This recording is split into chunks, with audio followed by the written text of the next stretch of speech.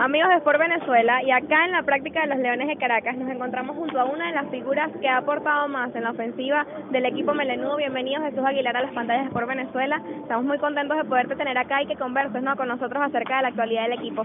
Primero que todo, ¿cómo te has sentido con los Leones? Esta temporada, una más con Leones de Caracas, que ha sido el equipo ¿no? que te ha recibido toda la fanaticada, no solamente por parte del equipo. ¿Cómo te has sentido? ¿Qué cosas has practicado en cada uno de los entrenamientos y cuál crees que, que es el fuerte, ¿no?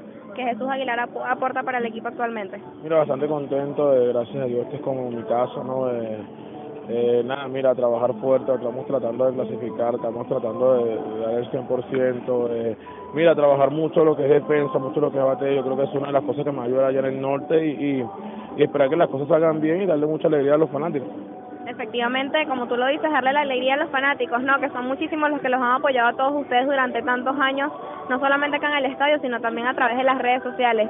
El equipo actualmente está pasando por, por algunas dificultades, ¿no? Para poder entrar a la tabla de clasificación y no son solamente ustedes, sino bastante los equipos de la liga, pues que ahorita optan por un, por un cupo. ¿Cuáles son las cosas que ustedes creen que, que deban trabajar en estos últimos entrenamientos, sabiendo que quedan pocos compromisos, equipos muy duros que también están buscando su pase a la postemporada? Mira, sí, hay muchos equipos como nosotros ahora mismo, está bastante reñida, yo creo que el cuarto para abajo todavía quedan dos espacios para cuatro equipos. Eh.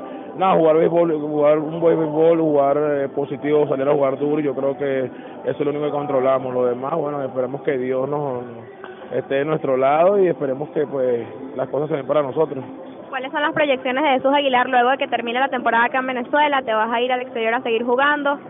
Mira, sí, eh, apenas esto termina aquí, eh, ya llegan los planes de sprint training, ¿no? Pasar un, un rato en casa y después volver, volver al trabajo. Eh, estamos buscando consolidarnos en Grandes Ligas. Yo creo que no hay tiempo para descansarnos, sino para, para alcanzar esa meta y seguir trabajando duro.